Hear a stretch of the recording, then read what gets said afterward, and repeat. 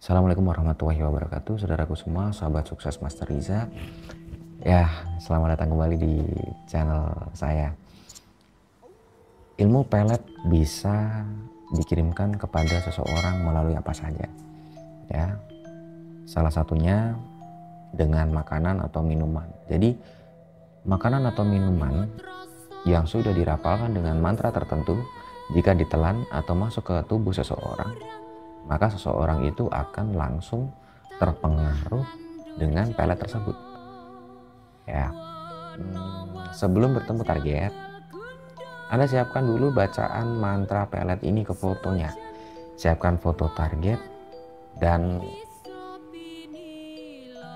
uh, tulis nama lengkap Anda dan target di belakang foto target tersebut, lalu bacakan pada foto tersebut dengan bacaan mantra berikut sebanyak 331 kali.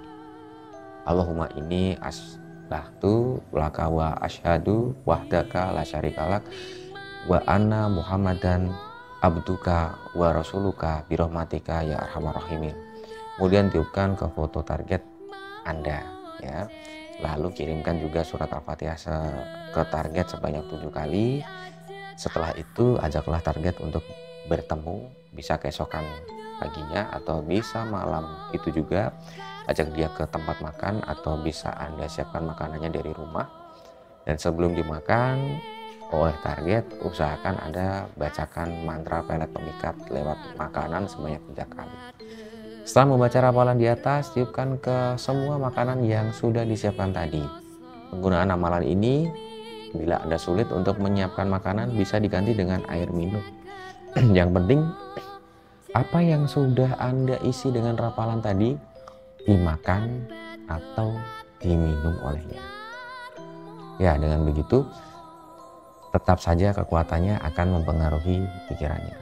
Bila cara di atas Anda rasa berat dan tidak mungkin bisa Anda jalani, Anda ada cara yang lebih mudah ya, yaitu dengan menggunakan sarana minyak pelet jaran kuyang. Ini tentu peluangnya lebih besar ya tentu peluangnya uh, tentu peluang berhasilnya lebih baik dan lebih besar karena minyak ini sudah saya tirakati dan saya olah secara batin sehingga mengandung energi pelajaran goyang dan ilmu pelet memikat yang sangat kuat.